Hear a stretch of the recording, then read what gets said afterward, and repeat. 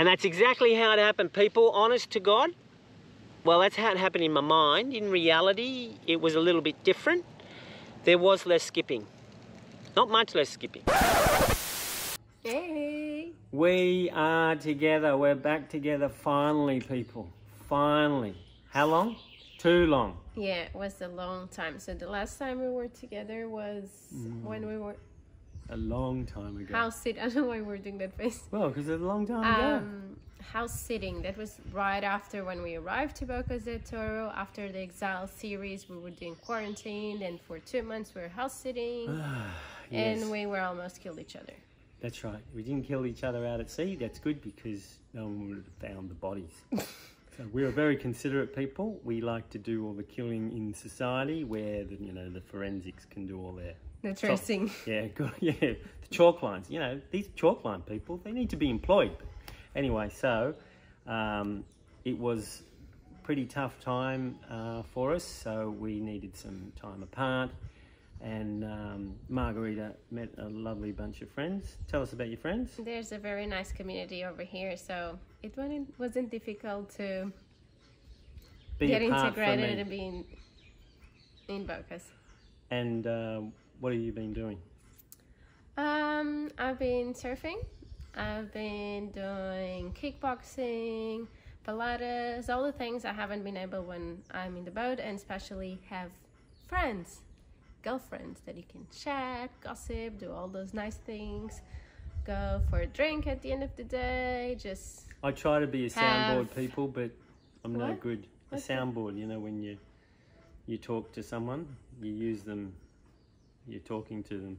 You just need girlfriends, don't you? yeah, pretty much.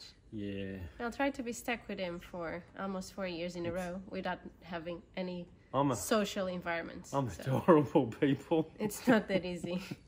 Apparently, I'm not adorable. Um, Sometimes. so, uh, so we've had, and then we had all these hiccups. So I sailed away to a place um, to be back with the stuff, um, you know, high intensity sort of underwater stuff, and to start a new channel. And yes, we had all the hiccups, um, many, many hiccups.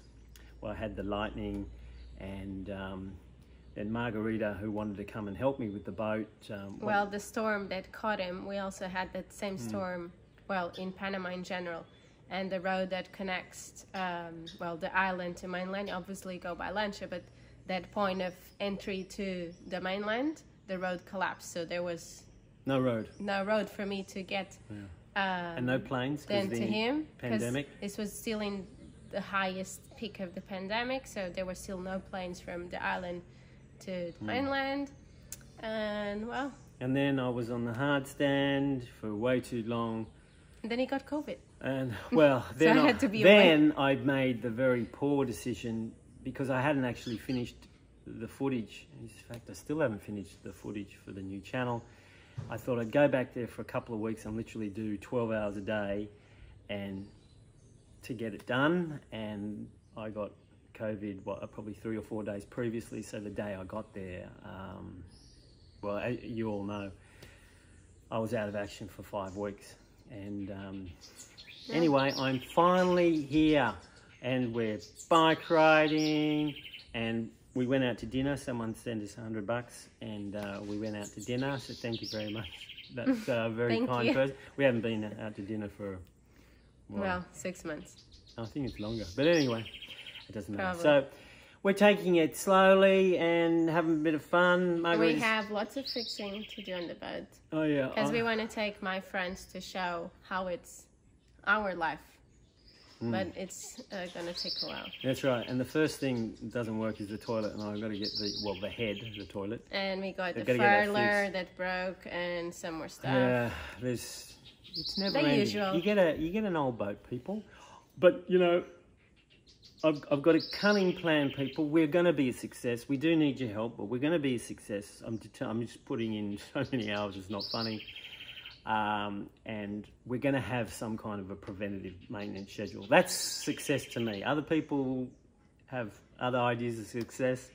That's my small amount of success is to get some preventative maintenance schedule happening. So Because normally what we happens is something breaks, I fix it, it breaks, I fix it, it breaks, and then we are forced to buy something else. That's not how you should do it on a boat, especially when we go out whoop whoop into these places. You've got to have a spare because you know something's going to break. So, anyway, it's wonderful to see my beautiful, beautiful, beautiful, three beautiful.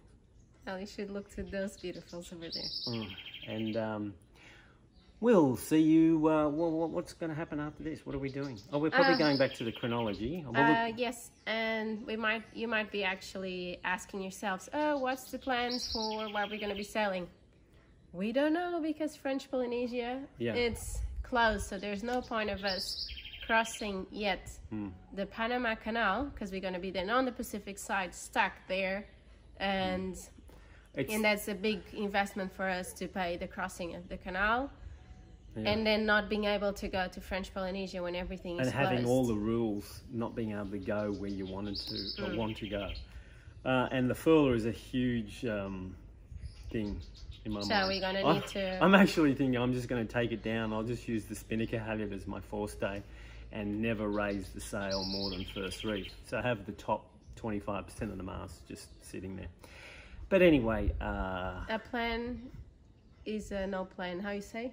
Well, Uh, no, it's I- open until Not having a plan is a plan right now because we've I think it's like every, anywhere Yeah. in the world and maybe in your lives too. You cannot um, have a plan more than probably a week, two weeks, or maybe a month because the world is going crazy and but we've got things to repair. So we don't know. Uh, that's about it, people. Um, oh, just to mention, But uh, we're gonna be in Panama now for a while. We're gonna be in Panama. until we know which country opens borders and we can kind of move freely. to make it easy for people who are getting confused with all the series being mixed up, uh, here's another way we're going to do it. On Tuesdays, we're going to put on videos that are out of sequence to the normal chronology. So Fridays or Saturdays, we haven't quite decided, is going to be the normal chronology, and then on Tuesday it's going to be anything goes Tuesday. And so, sorry, did if scare you? it's basically if it has a number says episode number blah blah blah it's on chronology Hmm. if it doesn't have any number on on the front it means it's an update it's a recent. But we're going to make it even want you to easier. you know. If it's on a Tuesday, it's either going to be something that's happening right now to us, or within the last couple of weeks, or last week, or something else that's interesting that I think I'm going to throw on the Tuesday. So, good on you, people. Thank you for your continued support. We're going to need it because I'm determined for us to be successful, and I'm going to be working super hard. No more breaks because the algorithm destroyed us and so I have to fight back. So there's going to be a lot more videos, and I'll just do it until I drop.